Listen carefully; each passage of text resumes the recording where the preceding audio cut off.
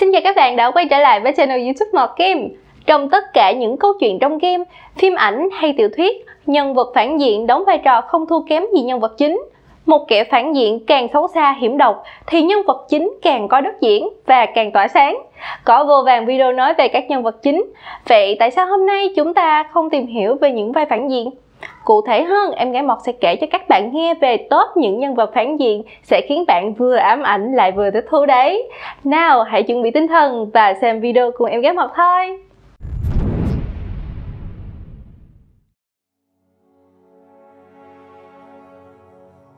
Nếu bạn là một game thủ thế hệ 7X hoặc thời kỳ đầu 8X mà được đặt câu hỏi bạn yêu thích nhân vật phản diện nào nhất, thì một tôi cho rằng hết 9 trên 10 người được hỏi không biết phải trả lời ra sao. Lòng yêu mến các nhân vật phản diện nghe có vẻ hơi kỳ lạ và buổi bình minh của ngành công nghiệp game. Cũng dễ hiểu thôi mà, vì ngày xưa các game thủ cũng chưa hứng thú về việc tìm hiểu sâu vào nội tâm và những góc khuất của một kẻ được gán mát phản diện.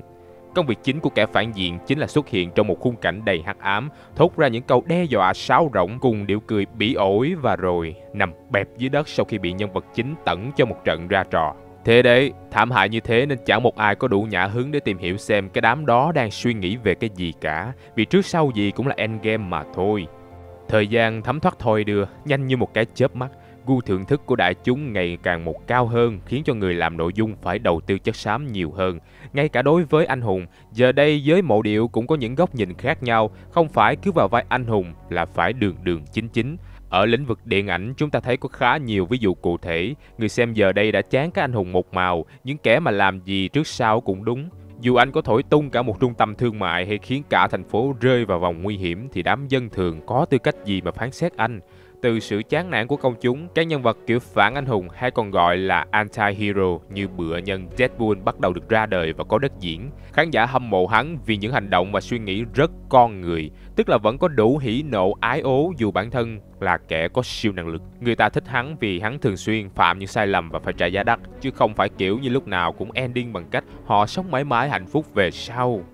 Với trò chơi điện tử, sự khó tính của game thủ ngày một cao kéo theo việc các hãng game phải nâng cấp chất lượng của trò chơi. Ngoài đồ họa, gameplay thì cốt truyện dĩ nhiên là phần được quan tâm nhất. Người ta không còn dễ tính tới mức sẵn sàng xem một gã như Duke Nukem làm mấy trò càng quét như Rambo và sau đó vẫn vỗ tay hoang hô như hồi đầu thập niên 90. Nhân vật chính giờ đây phải dark, phải deep và phải có chiều sâu cùng những động cơ mà có khi người chơi chơi đến cuối game rồi mới hiểu được. Như một lẽ tất yếu, nhân vật chính được xây dựng một cách kỹ lưỡng, ác nhân vật phản diện cũng phải được nâng cấp theo. Ồ, oh, có thể bạn cho rằng cả câu chuyện cứ ném cho vai chính gánh là được, miễn nó hay. Nếu có suy nghĩ đó thì bạn nhầm hơi bị to rồi, vì cứ xem qua Necron Final Fantasy 9 hay Zoran Lazarevic Uncharted 2 sẽ thấy liền. Kẻ trước có động cơ không rõ ràng, lý lẽ nhàm chán kiểu muốn về nước thì phải đánh bại nó và hết. Có ai hiểu vì sao tôi phải đánh bại cái gã cứ đứng im như bức tượng này hay không? Chưa kể còn khuyến mãi thêm quả tạo hình và chuyển động vô cùng kém hấp dẫn. Còn Zoran Lazarevic thì sao? Nổi tiếng với những pha nó dai, nó dài, nó dở cùng với nhiều sai lầm về chiến thuật khiến cho Uncharted 2 không mang lại cảm giác lo lắng, sợ hãi hay gây kịch tính cho người chơi.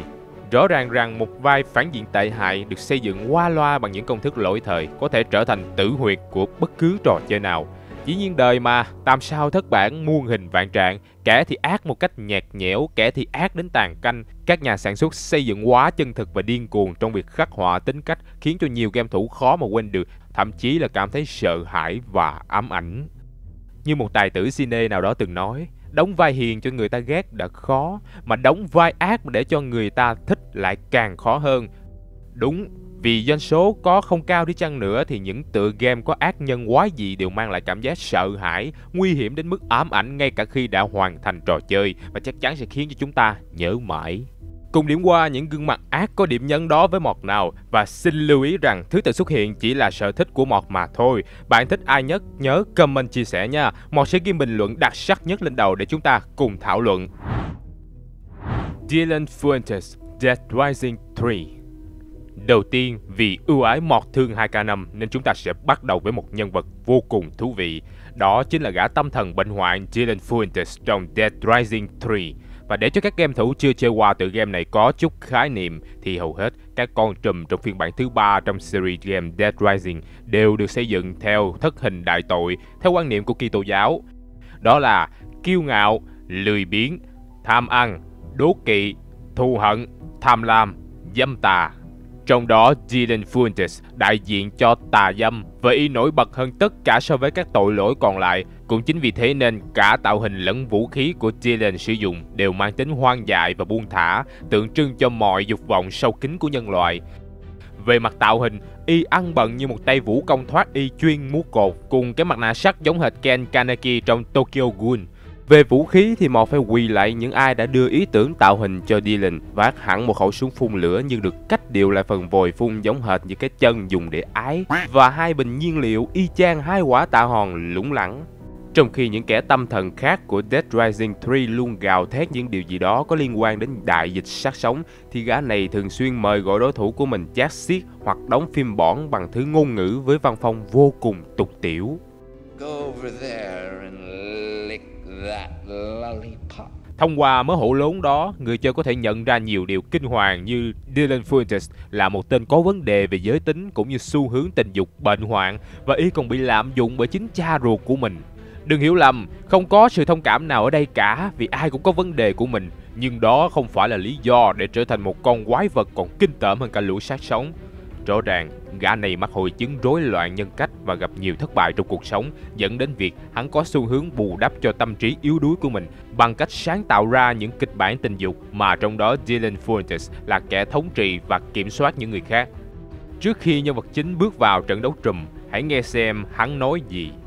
Cưng à, nếu cưng không chịu nghe lời thì anh sẽ trở thành một sugar daddy rất là bạo lực đó.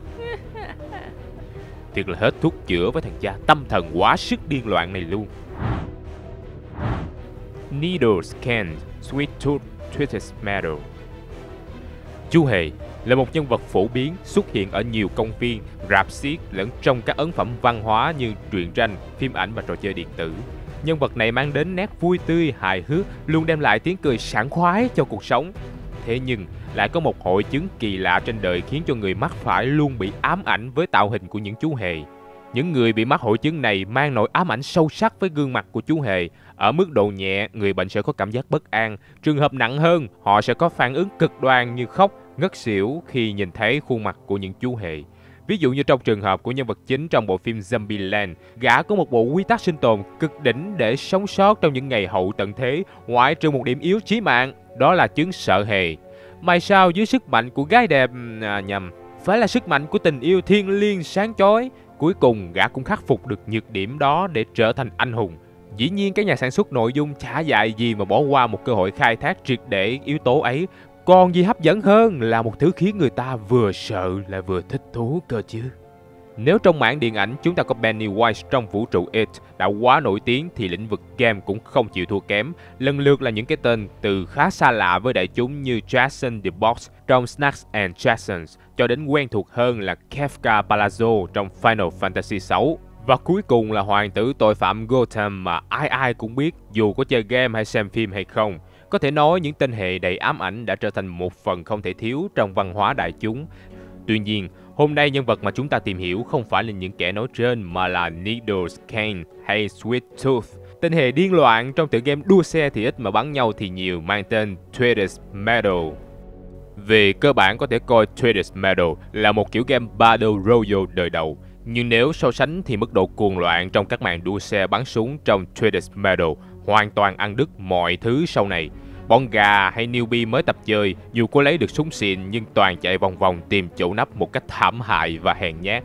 Thì làm gì có cửa để so sánh được với các anh trai độ xe như quái vật lắp cả súng sáu nòng lẫn tên lửa để tìm mọi cách bắn tung nát đích kẻ thù. Đua xe bắn súng thực tế chưa bao giờ là một bộ môn thể thao nhằm tăng cường tính đoàn kết và thịnh vượng ở trong game. Nó sở hữu đủ mọi thứ từ bạo lực, tính may rủi, liều lĩnh và mức độ mất cân bằng thì thôi, đừng hỏi. Mọt đang tự hỏi làm theo quái nào mà các anh trai cởi trần với hai cái bánh xe gắn hai bên có đủ tự tin tới vậy. Và khi lao vào đấm nhau tay bo với một đám siêu xe bọc sắt từ đầu tới chân, thậm chí có đứa còn vác cả xe tăng lẫn đĩa bay vào quật nhau nữa, thật là một sự dũng cảm kinh hoàng. Bất chấp những điều mất cân bằng và thiên vị rõ ràng giữa đối thủ, thì đua xe bắn súng vẫn tạo ra một môn thể thao kinh điển trong tâm trí những người đã từng chơi qua game này trên PlayStation. Trò chơi là thứ tuyệt hảo để solo cùng bạn bè khi đứa nào vào game cũng chăm chăm tìm cách chọn xe xịn trước, sau đó là đi nhặt rocket để bắn tan tành tất cả các mục tiêu trên bản đồ. Twitter's Medal còn là nguồn cảm hứng cho rất nhiều bộ phim và các tựa game kế nhiệm sau này, trong đó nổi tiếng nhất là Rocket League. Và không hư cấu chút nào đâu khi hễ cứ nhắc đến Twitter's Medal là người ta sẽ nghĩ ngay đến hình ảnh của Needles Kane. Trong phiên bản gốc, Y vốn là một người bán kem trộn bình thường với một gia đình hạnh phúc. Đến một ngày, tâm trí của hắn bị thế lực tà ác xâm nhập, gã đã hóa điên và giết hết cả gia đình. Ngoại trừ đứa con gái Sophie đã kịp cầm kéo đâm vào mắt hắn rồi bỏ trốn. Từ đó, gã thề sẽ tìm và giết con gái mình, mở đường cho chuỗi ngày tàn sát và phá phách không ngừng của Needles Kane. Quả là một câu chuyện mở màn hoàn hảo cho một tên hệ sát nhân điên loạn khiến ai cũng phải ám ảnh. Có thể được miêu tả về quá khứ hơi khác nhau trong từng phiên bản, nhưng chung quy lúc nào Needles Kane cũng là hiện thân của sự căm ghét, điên cuồng, giận dữ và đam mê hủy diệt tất cả mọi thứ. Hiếm có nhân vật nào lại có khao khát duy trì bản ngã tàn ác của mình một cách đầy hào hứng như vậy.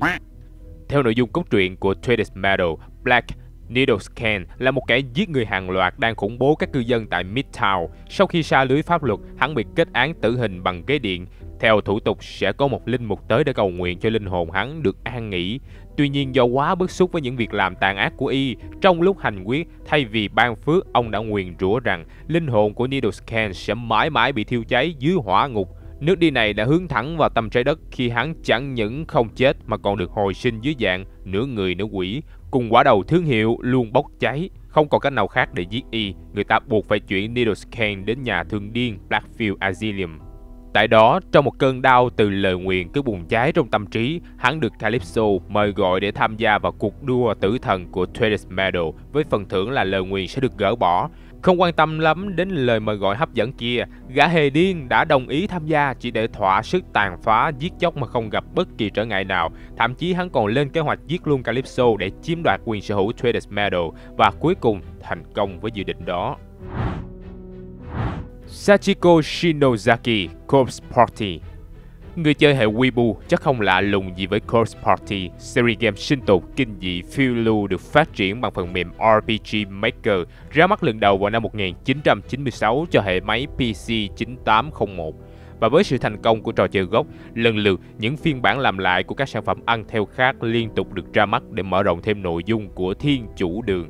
Từ Blood Covered, Poke Up Shadows, Swiss Sachiko History Birthday Bash, Blood Drive cho đến Core Party 2 Dead Patients. Tất cả đã biến tựa game này trở thành một thương hiệu không hẳn là bom tấn nhưng hễ cứ nhắc tới thì ai cũng biết.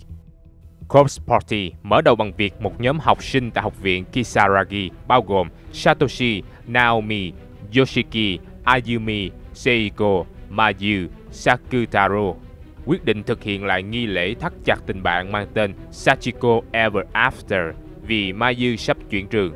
Nghi lễ đã thành công, nhưng cũng như bao game kinh dị học đường khác, thay vì nâng cao tình bằng hữu thì nó lại gọi ra một con quỷ tên Sachiko Shinozaki để tiễn hết những người bạn lên đường. Và từ đây chúng ta biết được học viện Kisaragi được xây dựng trên khu đất cũ vốn là trường tiểu học Heavenly Horse, tiếng Hán Việt là Thiên Chủ Đường, nơi đã bị phá dỡ sau khi chứng kiến nhiều vụ nhân viên lẫn học sinh mất tích cũng như bị sát hại một cách đầy bí ẩn vào năm 1975.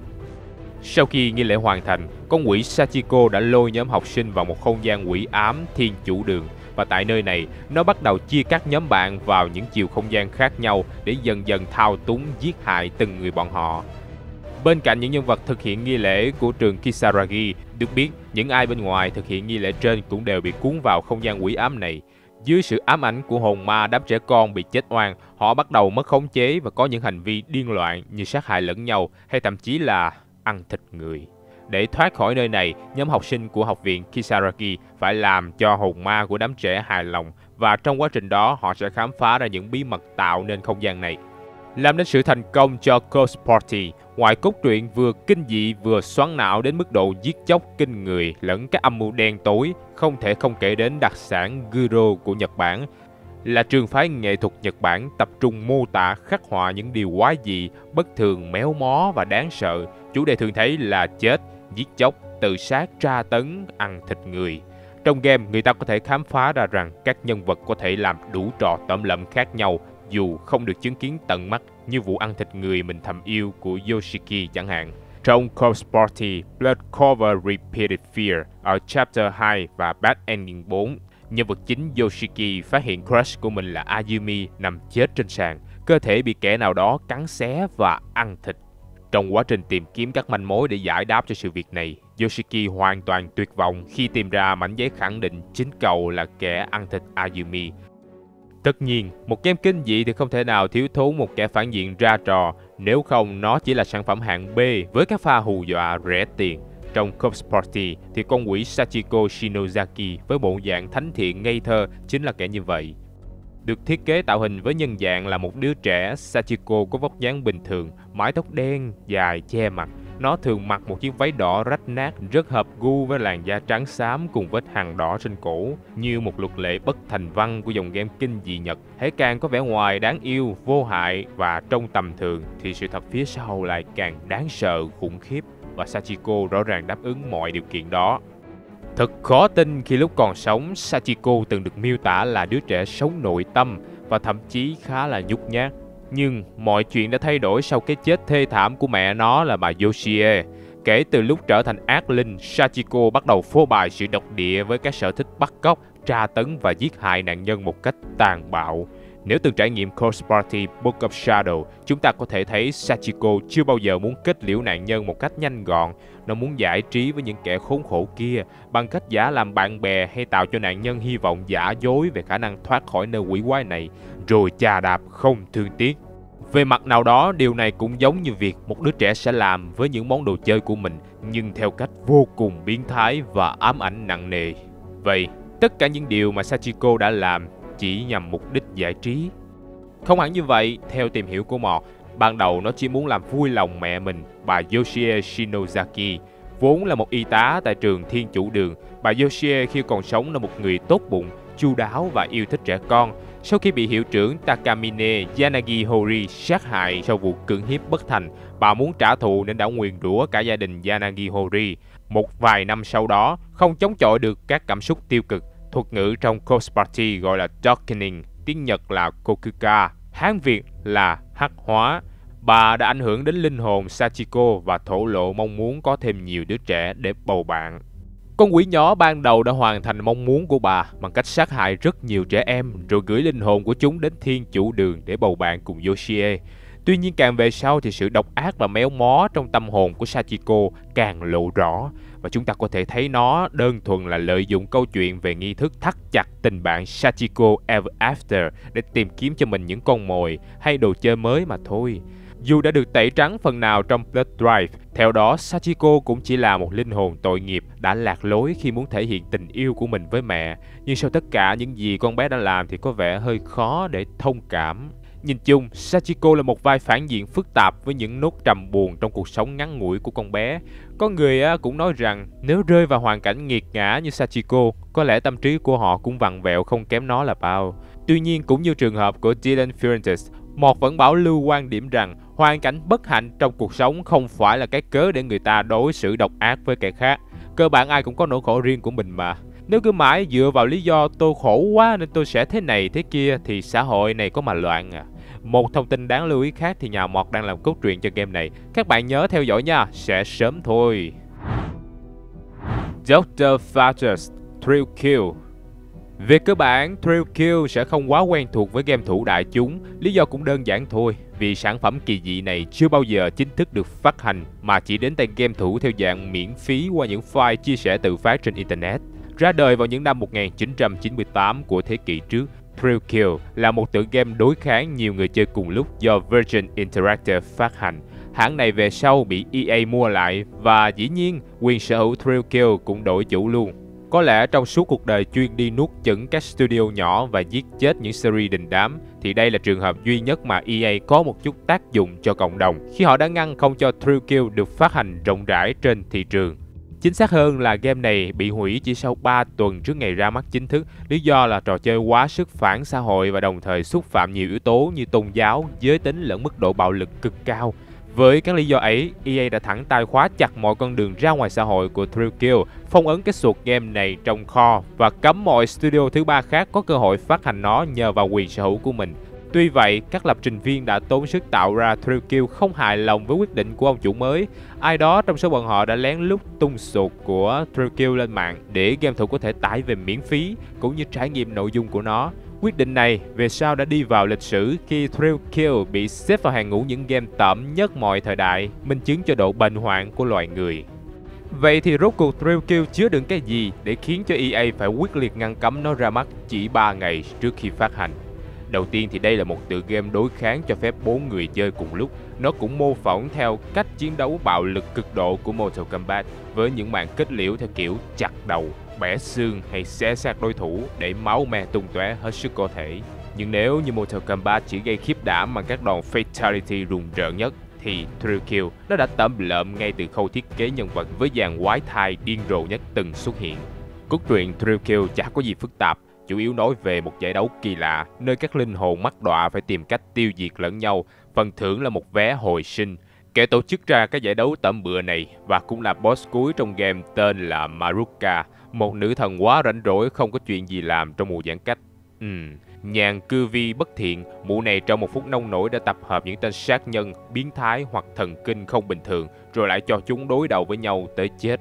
Phải nói chỉ riêng cái việc để cho lũ này sống lại đã là quá phản nhân loại rồi chứ đừng nói tới việc tổ chức giải đấu để chúng nó so tài nữa. Tất cả các nhân vật trong Thrill Kill đều có hai nhân cách.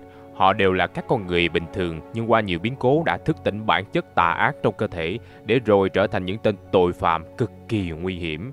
Game đã tái hiện thứ gọi là nhân chi sơ tính bản ác theo một vài định nghĩa nào đó hoặc có thể hiểu là người nào cũng có máu điên tiềm ẩn, chẳng qua thiếu cơ hội để phát tán ra mà thôi.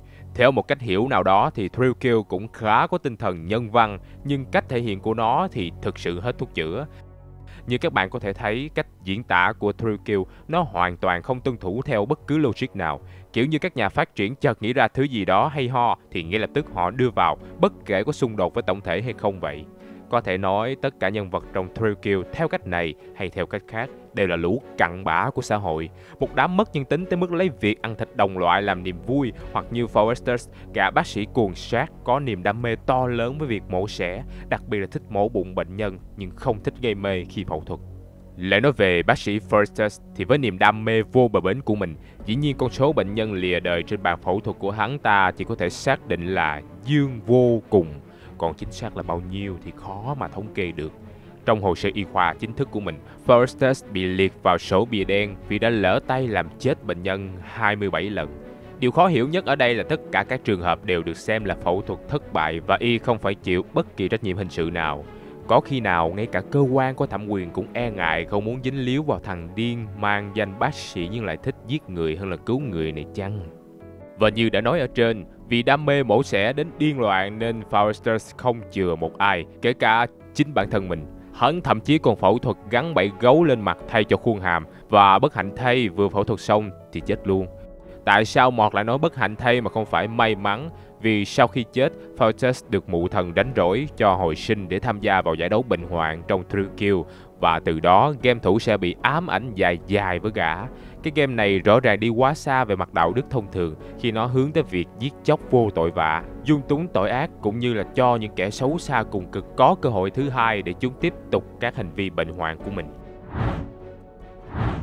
Eddie Gruskin, Outlast Whistleblower sau khi cho ra mắt Outlast, nhà sản xuất Red Barrels tiếp tục cho ra mắt bản DLC kế tiếp có tên Outlast Whistleblower để làm rõ về các sự kiện xảy ra trước bản game chính cũng như giải thích kỹ lưỡng hơn về các nghiên cứu ở trại tâm thần trên núi Massive. Theo đó, công ty Murkoff chính là nguồn cơn gây ra mọi chuyện. Đây vốn là đơn vị được lãnh đạo bởi tiến sĩ Rudolf Warnick, người đã chế tạo ra Morphogenic Engine, Mạng lưới máy chủ trải rộng khắp bệnh viện tâm thần tại vùng núi Massif với mục đích điều chỉnh trí não con người nhằm tạo ra một vật chủ phù hợp cho The One Rider, tổng hợp những con chip nano có khả năng điều khiển tâm trí.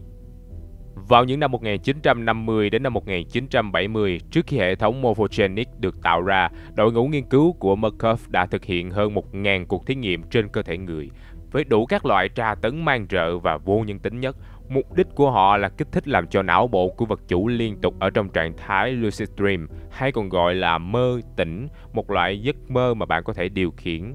Điều thú vị của Lucid Dream là bạn có thể nhớ 100% tất cả mọi việc sau khi tỉnh dậy mà những giấc mơ bình thường nhiều lúc không thể vì khoảng thời gian bạn trải qua Lucid Dream là khoảng thời gian não bạn vẫn đang hoạt động nhưng cơ thể bạn vẫn ngủ. Do The One Rider là tập hợp của hàng ngàn con chip nano nhỏ nên các nhà nghiên cứu phải tìm cách ép buộc não bộ của vật chủ thí nghiệm hoạt động không ngừng, từ đó gia tăng kích thước mới đủ chỗ trống để cấy The One Rider vào vật chủ. Còn về phần làm cách nào để khiến não bộ liên tục hoạt động trong trạng thái lucid dream thì đám nghiên cứu bất lương đã dùng cách nguyên thủy nhất đó là cho vật thí nghiệm lạm dụng nhiều chất kích thích khác nhau như rượu, ma túy cũng như tra tấn thể xác liên tục. Cuộc nghiên cứu phi nhân tính này đã khiến toàn bộ vật chủ lâm vào tình trạng điên loạn và có hành vi bất thường. Đến điểm của vụ việc xảy ra vào năm 1967, một số bệnh nhân đã thoát ra và giết chết ba nhà khoa học khiến viện tâm thần núi Massive đóng cửa, đồng thời dự án The Wall Rider cũng tạm dừng. Hơn 20 năm sau tai nạn nói trên, thí nghiệm được tiếp tục. Lần này, Murkoff nhận ra kích thích não bộ bằng phương pháp truyền thống không hiệu quả và nguy hiểm, do đó tạo ra hệ thống morphogenic. Họ quyết định sẽ chứa các vật nghiên cứu trong những lồng ấp riêng biệt, nuôi dưỡng bọn họ qua ống dinh dưỡng nối bên ngoài vào. Bằng cách này, đội ngũ của Murkoff có thể kiểm soát cũng như theo dõi được các vật chủ 24 trên 7 cũng như chặn đứng các tai nạn đáng tiếc có thể xảy ra. Morphogenic Engine hoạt động bằng cách buộc vật chủ thí nghiệm phải luôn hướng mắt lên màn hình lớn, nó liên tục chiếu các hình ảnh kinh dị tác động tới hệ thần kinh. Như vậy thì khi vật chủ rơi vào trạng thái lucid dream, các con chip được cấy vào và họ có thể điều khiển được The One Rider thông qua sóng não được kiểm soát Tác dụng phụ của việc này là do ngâm mình liên tục trong các dung dịch dinh dưỡng nên vật chủ sẽ bị các triệu chứng ngoài da như lở loét hoặc nấm mốc mọc trên người. Trong số khoảng 300 vật chủ thí nghiệm, chỉ duy nhất một mình Billy Hope là thành công bằng cách nào đó trong quá trình thực hiện morphogenic, trí não của anh ta đã vượt ra khỏi phạm trù của nhân loại. Các nhà khoa học của Murkoff quyết định cấy các con chip nano vào thẳng cơ thể thay vì não bộ để chúng sống ngầm bên trong cơ thể Billy. Trước khi các sự kiện trong bản Outlast đầu tiên xảy ra, The Wall Rider đã vượt tầm kiểm soát của Murkoff và thoát ra khỏi cơ thể của vật chủ Billy Hope. Từ lúc này, chúng bắt đầu cuộc đại thảm sát với tất cả nhân viên và bệnh nhân bên trong viện để trả thù. Điều đó dẫn tới việc khi tay nhà báo tự do Miles Upshurst đến để điều tra trong phần chơi chính của Outlast thì mọi thứ đã trở thành một nhà thương điên đúng nghĩa. Trở lại với Outlast Whistleblower, cùng với các nhân vật phản diện biến thái của ngày hôm nay, danh hiệu đó có lẽ không ai xứng đáng hơn Eddie Gluskin, hay còn được biết đến với danh hiệu The Groom. Vì sao hắn lại có biệt danh ấy? Đầu tiên, Eddie Gluskin là một gã rất kỳ quặc. Hắn có tiền sử bị lạm dụng tình dục bởi cả bố lẫn chú ruột. Điều này dẫn đến việc y lớn lên với hội chứng khủng hoảng về tâm lý cũng như giới tính và bị đưa vào bệnh viện tâm thần. Khi The Wall Rider gây ra thảm họa tại khu nghiên cứu trên núi Massive, Eddie đã được tự do. Hắn ngay lập tức bắt tay vào việc để thực hiện ước mơ của mình. Do hậu quả của các vụ lạm dụng tình dục từ bé nên Kruskin trở nên ám ảnh với phụ nữ. Thế là hắn đi săn lùng các bệnh nhân nam để bắt họ kết hôn với mình.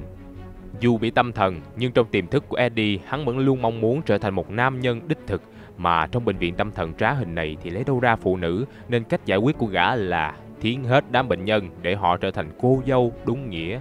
Quá trình này khá là tẩm lợm khi nhà sản xuất Red Barrels miêu tả vô cùng kỹ lưỡng, khiến anh em nam game thủ lúc điều khiển nhân vật chính Wayland để trải nghiệm qua phân cảnh này đều cảm thấy lạnh cả vùng dưới thắt lưng. No, I'm so sorry, darling. Love isn't forever. Có người nói thực tế Eddie Gluskin cũng là một dạng hoàn cảnh đưa đẩy với tuổi thơ như địa ngục cùng các thí nghiệm bất nhân Morphogenic Engine đã khiến cơ thể hắn bị xé toạc ra và tâm thần cực kỳ bất ổn từ đó biến thành một kẻ sát nhân bệnh hoạn. Coi nào các bạn, ai lại có thể thông cảm cho cái thể loại này vậy? So với Gluskin thì hóa ra con quỷ nhỏ Sachiko cũng có vẻ xinh xắn điềm đạm đáng yêu đó chứ. Thôi thì trong cái danh sách điên khùng bệnh hoạn hoặc tấm lợm này thì kẻ nào cũng mỗi người một vẻ 10 phân bạn 10 hết. Nhìn chung các vai phản diện có chiều sâu và bối cảnh, dù có khi chỉ xuất hiện ngắn ngủi nhưng ấn tượng mà chúng để lại cho game thủ bao giờ cũng thật sự khó quên. Tất nhiên, năm kẻ nói trên chỉ là những nhân vật game ấn tượng mà Mọt có thể nhớ được lúc này. Nếu cảm thấy có những ứng viên nào tiềm năng hơn, bạn có thể để lại ý kiến của mình bên dưới vì biết đâu sẽ có phần 2 thì sao. Đừng quên cho Mộc một like, một subscribe để có thêm động lực làm những video hay ho nha. Còn bây giờ, xin chào và hẹn gặp lại.